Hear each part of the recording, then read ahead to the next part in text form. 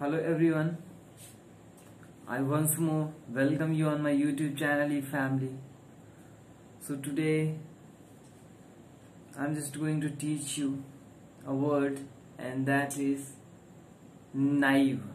The pronunciation of this word is naive. N A I V E naive.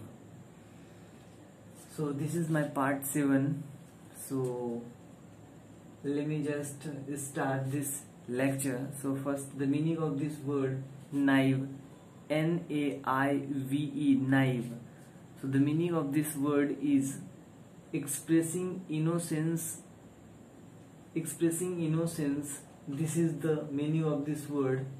Or or you can say simple expressing innocence. Means uh, one who is innocent this is all about naive.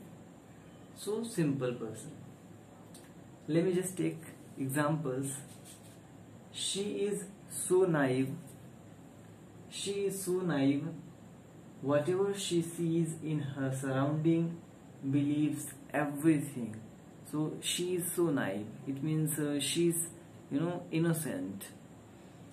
Another example is she is a naive child.